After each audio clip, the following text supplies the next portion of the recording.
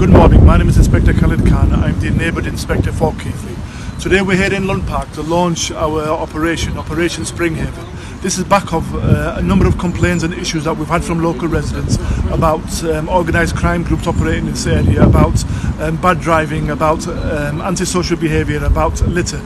So today we're here with, our, with our uh, partners and the local community to try to make a meaningful change to this area. We have an operation running today and that will be go, going out there, targeting those individuals who are causing us harms.